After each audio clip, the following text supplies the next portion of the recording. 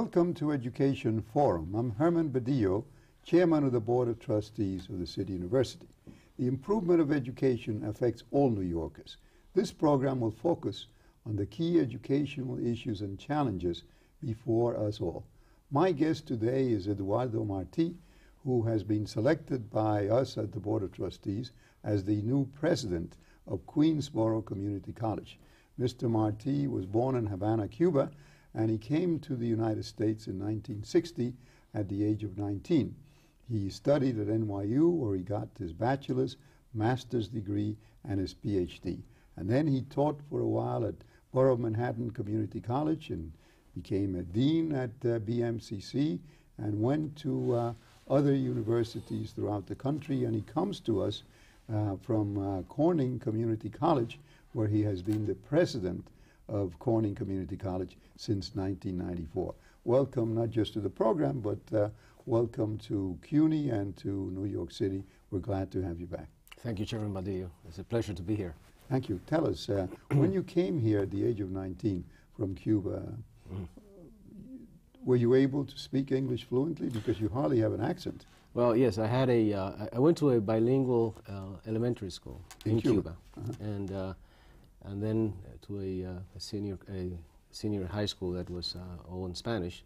So by the time I came here, I had some background. But I did the ESL mm -hmm. at NYU, and uh, I, um, I, I struggled through uh, all of that reading. Uh, so I'm, I'm very much um, familiar with the, uh, the, the, difficulties that people who have other languages have in studying, memorizing, assimilating, and analyzing information that is in English. Well, you need those skills at Queensborough Community College because uh, a very large percentage of the students come from, um, are immigrants from countries from all over the world, not just from Latin America, but from uh, Asia and Africa. And uh, it's, uh, it's precisely the kind of uh, of uh, experience that you and I went through when we came to the United States. Well, that's precisely what what uh, attracted me to Queensborough. I, I uh, when I got the call, uh, was a Sunday night at 9:30 at night, um, saying to see if I was interested in applying for this, and um, I, I, was pretty happy at Corning, uh, and uh, the idea of of helping immigrants was really the the variable that caused me to apply, and I'm very delighted that I did.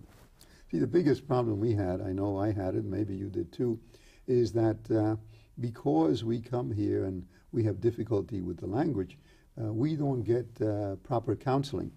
And I know that I was uh, shunted off to airplane mechanics. And if I had followed that course, I would be out of a job now because those were internal combustion engines, which nobody uses. But one of the things that uh, new immigrants need the most is someone who will orient them and who will uh, help to uh, ensure that uh, they stay in, in school and that they graduate. And the community colleges, to me, are the key source of providing information to immigrants. Um, and that's why, that's why I welcome you to this system because most people really don't understand uh, what a community college does. Could you explain that to our audience? Well, a community college does three things. Uh, it prepares students for the baccalaureate uh, education, uh, and those are the first two years of the baccalaureate education. Uh, it also prepares students for the world of work, uh, if they want to go in that, in that route with the AAS, or the Associates in Applied Science.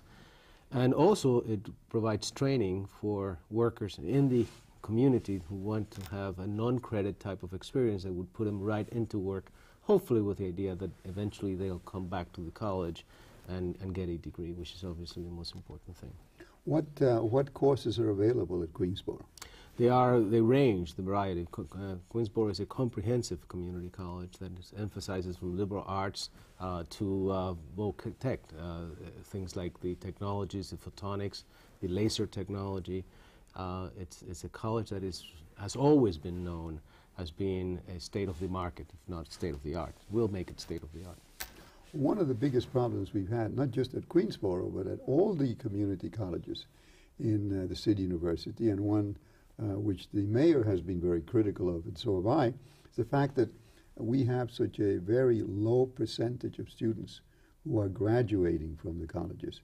And um, I think in obviously nobody expects them to graduate in, in two years, although they're two-year colleges, but over a period of years, the graduation rate is very low.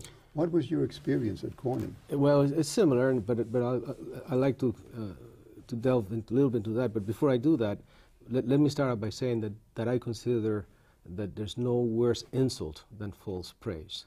And as a minority, uh, as an ethnic minority, when somebody gives me something that I have not earned, they are insulting me. So I, I, I strongly believe in standards. I strongly believe in making certain that uh, people like me uh, are able to rise to the level that they can and, and give them the tools. But work they must, prove themselves they must. Now, going to the community colleges, um, if we had, if Corning Community College, where I now serve as a president, was a selective admission college, we would uh, uh, accept only 17% of our entering class because our entering class uh, graduates in two years and 17% of, of, of, the class graduates in two years. If you go another year, which when you factor in remediation, you're now graduating 40% of the class. If you go another year when you factor in those individuals that needed intensive remediation, now you go into 55, 60% of graduation. Well, that's, that's well beyond what we have in terms of graduates, not just at the community colleges, but even at the senior colleges. Because the problem that we have in New York City is that because of uh, open enrollment, mm -hmm. anybody who has a high school diploma can go to a community college.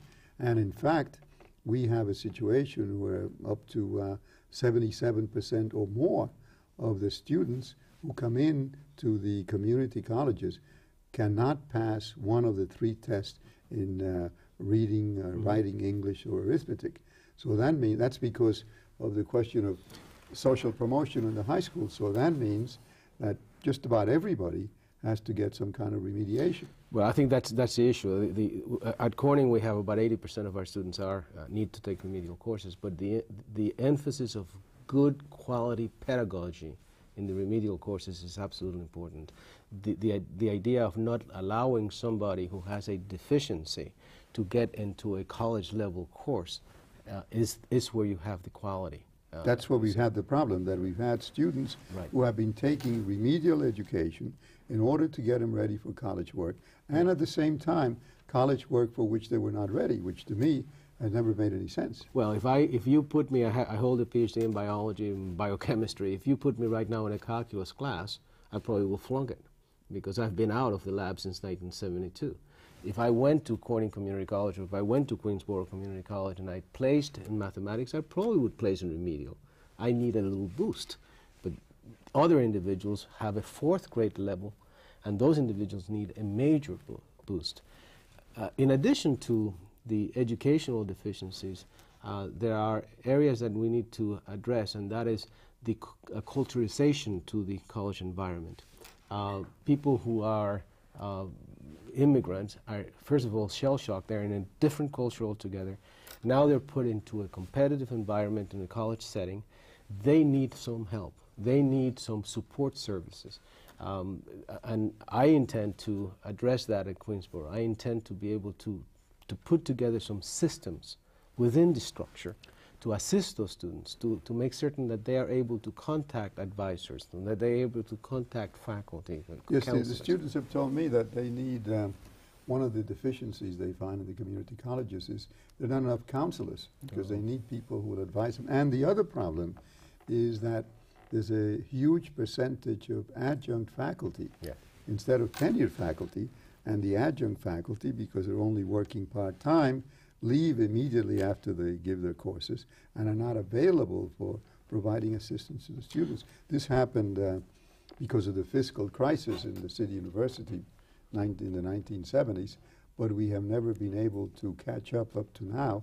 And I must say that uh, I find the governor and the mayor to be very sympathetic, and we're getting some additional support in this year's budget to get some more uh, faculty permanent faculty, yeah. but it's still going to be a problem for quite a while. So that puts an additional burden on, on you as a. But it has to be an institutional priority. Mr. Chairman. It has to be an institutional yeah. priority. You, you, you, if, if, if you if you adjunct faculty is excellent to bring the state of the market, state of the art, if you will, uh, knowledge to uh, to the uh, to the community college base. but you need that core faculty. You need that faculty member that looks at the students in the eye and say, and sees them in the cafeteria, sees them in a basketball game, sees them in the pool, and, and, and talks with that individual. There's more instruction that takes place outside of the classroom. Sometimes it, it happens in the classroom. Adjunct faculty doesn't have the time to do that. And you have to counsel them too, because the students, uh, especially the, the new immigrants, uh, don't know what, uh, what the opportunities are that are available. Yeah. I, I was very impressed with the, um, the, the Queensborough uh, positioning, if you will, the, the, institutional positioning versus immigrants. I, I, think that, that they are ready to take on the challenge of helping out and reaching out at that population and, and, and improving the graduation rate, improving the, the, the, the ability of those students to be able to complete a baccalaureate, because that's really the ultimate goal. Yeah, and I think the, the problem is that I find that there's too casual an attitude about the time it takes the students to graduate. Now, I understand the problem because I worked full time when I was going to City College, and it's not easy to work full time and go to college full time. But I was determined that I was going to get my education out of the way mm-hmm. by the time I was 25. And by, even though I couldn't speak English when I was 12, by the time I was 25, I was a lawyer and a certified public accountant. But I find that there are too many of the faculty who are saying to students, because you are poor, because you have to work, take your time. And what happens is that uh, if they're in their 30s or so and they haven't finished, they tend to drop out because they get married and have a family. So my view is even if you have to go without sleep, you should finish your education as fast as possible. But remember those days. Uh, remember that the, the most precious, com precious commodity that we had the most valuable possession we had was time, and we needed to do it quickly. Uh, and, and, I go back to false praise. What you just said, to, to have the, the cavalier attitude towards a student because they can't do it. Mm -hmm. Look at what Mr. Escalante did in, Cal in, California. I mean, all you have to do is raise that bar and say, you can do it, and, and, and then hold them to it. And they will do it. Yeah, okay. Absolutely. We'll be back after these announcements. There may be some things this little girl won't do as well as other children. But this won't be one of them. Not if Sven Anderson has anything to do with it. Because for years he's been helping children like this to build their lives. The world needs a lot of Sven Andersons. Couldn't you be one of them? It's not your money. It's you we want. Just You're only a phone call away.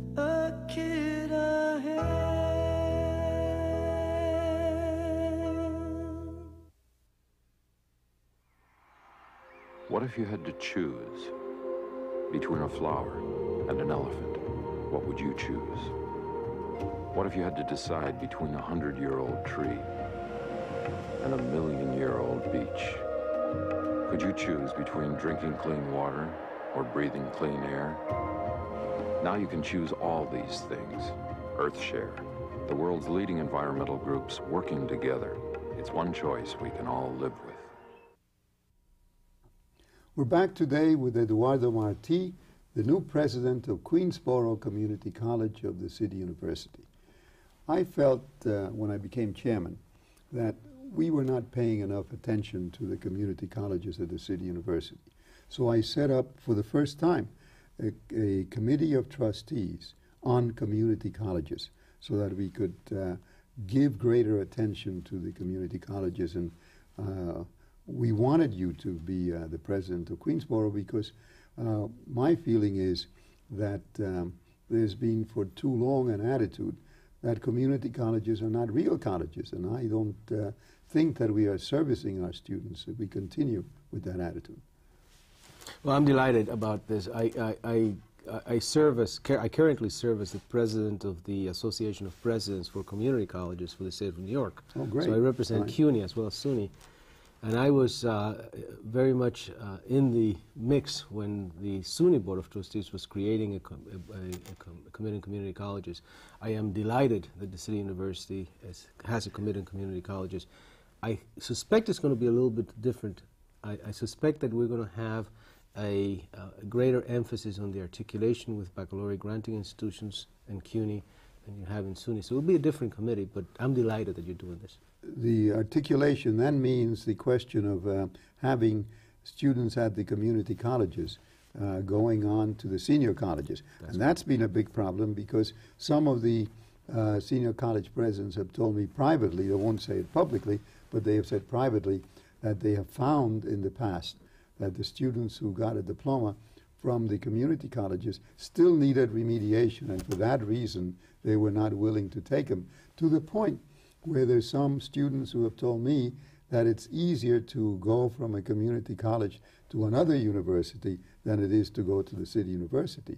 So uh, we have to uh, work out uh, procedures to deal with uh, this so-called articulation problem. Well, and I think that the way, one of the ways to do this is, is, is the, by the way, the reason that, that private institutions are more receptive to accept students from community colleges than perhaps public institutions is because they don't know the students as well as the ones in the public institutions.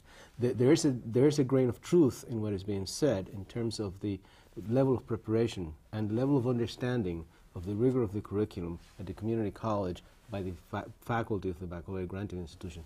I think that if we talk to one another, if we're able to have department to department talk to one another, faculty to faculty, I tell you, I can stack the faculty at Queensborough with the faculty of any other uh, other, other, other college in, in the city university, well, and they'll be able to talk to one another. It would seem to me that the, the, the, the curriculum and the courses should be the same. If you take English literature at a community college and you take it at a senior college, it should be the same thing. Should be so, the same. But apparently, the feeling has grown up that it's not the same thing, so that therefore a, uh, a, a two-year liberal arts course at a community college is not given the same uh, full faith and credit at the senior colleges. And from my point of view and my colleagues in the Board of Trustees, that has got to stop, and we have to make it compatible.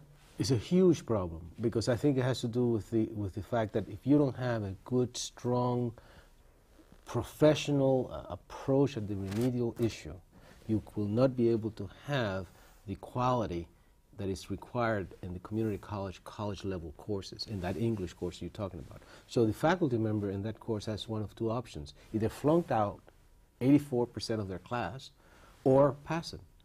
And by, by God, they shouldn't be passing it. But let's face it, the temptation is always there to be kind, to be gentle. I mean, as teachers, we're all nurturers. We try mm to encourage the, the student.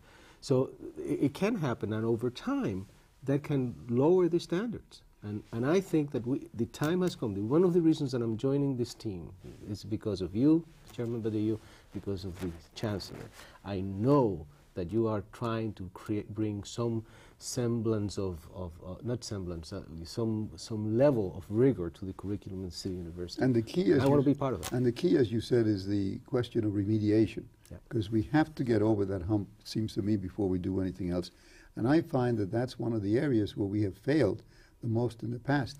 How do we make the uh, remediation courses uh, more uh, rigorous and more successful? Well, I, I, I, wince when you said fail because I, I, I hesitate to use the word fail. I, I, think we have tackled a problem that was very massive, and we've done the best we could under the funding situations that we had in this university. I think the approach of going to the, to the secondary sector, to start talking in the ninth grade, right. to start to start testing the College Now program, to start testing the students in the sophomore year, making certain we have some remedial articulation with the secondary sector, and then putting the best teachers that we can in the remedial courses, making certain that, that those individuals uh, uh, are able to be experts in pedagogy. I say that the main discipline at the community college is pedagogy. I happen to be a biologist. I'm very proud of the fact that I, I, I hold a, a, a, strong PhD in, in a strong science. But when I'm in that community college, I'm a teacher first. And my discipline in that institution is pedagogy. And the way that I translate knowledge rather than create knowledge is, is where my forte is at. And I expect the faculty to be able to do that. I expect the faculty to be able to be the best in the world in terms of teaching? See, I met with uh, many students, especially, for example, at uh, Borough Manhattan Community College, where you taught, uh, who have told me that freshman students, they're very upset because they discovered when they got to BMCC that they had to take a lot of remedial courses. And they thought they had a real high school diploma. Yeah. And they thought that they could go to a community college and graduate in two years. But then they find they have to take remedial course after remedial course. And that is the most discouraging and disappointing thing to get the moment you hit the community colleges because then mm. it looks like you're going to have to keep going to school forever. Well, that's what I mean about false praise. Is the worst, worst insult. But, but to, to, be able to have a high school diploma, to come to a testing site at a community college and not be able to go right into a curriculum, the college level curriculum, uh, that, that's that's uh, that's borders on, on on something that should not be done. I, I don't want to use the word.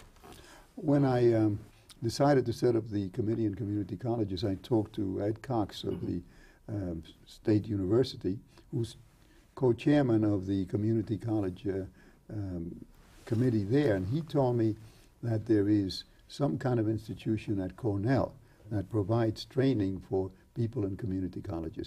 I understand that you're on the board of that group. I am. You want I to am. tell us something about it? Yes, it has three functions. Uh, the development of uh, leadership for community college administration in the state, uh, the uh, development of faculty, uh, faculty development, and research for community colleges, community college issues. Um, I believe that this is something that will grow and I, and I am delighted that the CUNY and SUNY are talking and joining forces together. I think that this can be a mecca, uh, if you will, for community college education in the Northeast. So if we have the people from our community colleges going to Cornell, what, what would they, uh, what, what would be involved in Well, let us assume that you have an associate dean of liberal arts okay. at Borough of Manhattan Community College right. that, that has aspirations to become a dean. Uh, well, there, there, will be um, uh, workshops at, at, uh, at Cornell that will be selective to begin with, you know, to get into. But uh, it will be intensive, uh, one week, two weeks, three weeks, four week workshops that will train that individual to become a, an efficient administrator.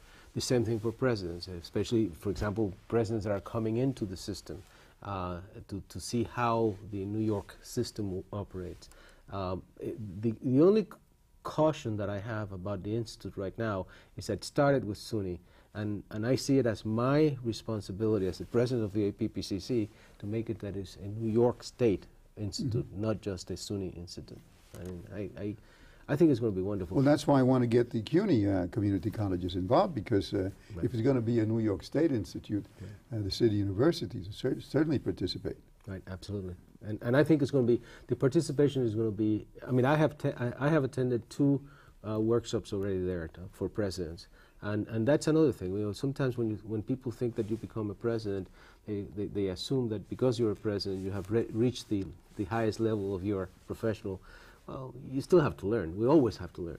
So uh, to get together with fellow presidents and, and, and to, to be challenged uh, uh, by, by uh, world-class faculty uh, it's, it's very beneficial for all of us.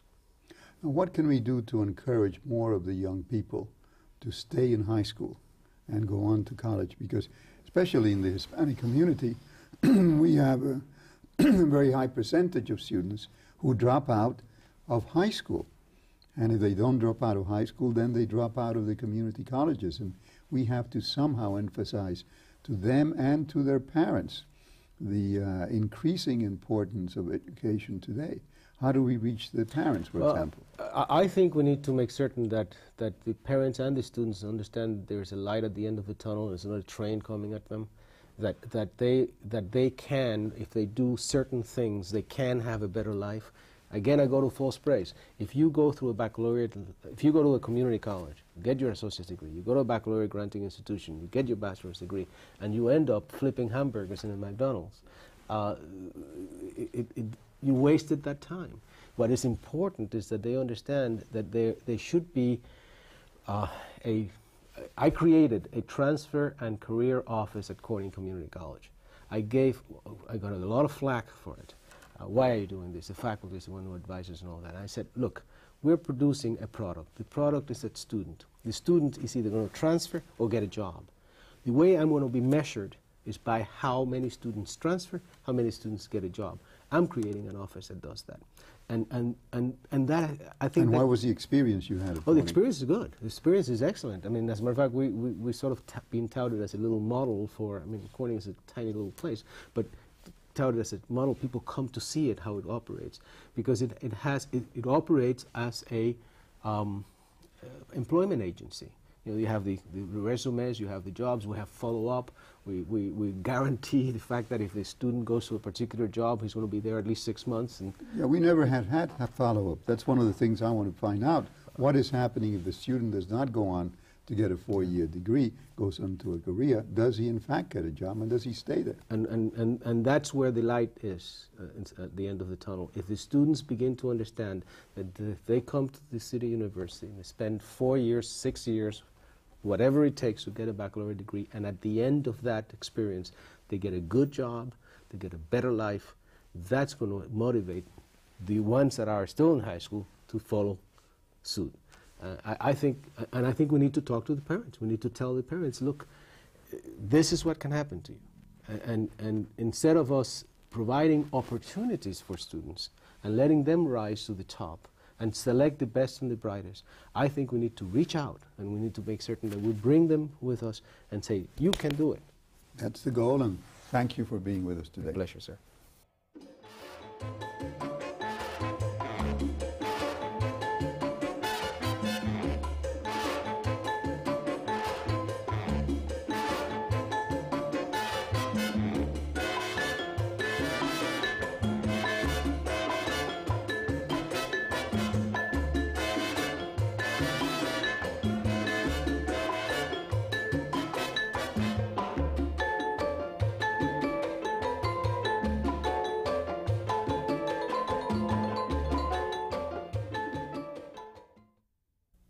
You can reach us by email at our website, www.cunytv.cuny.edu, or write to us at CUNY TV, 365 Fifth Avenue, New York, New York, 10016.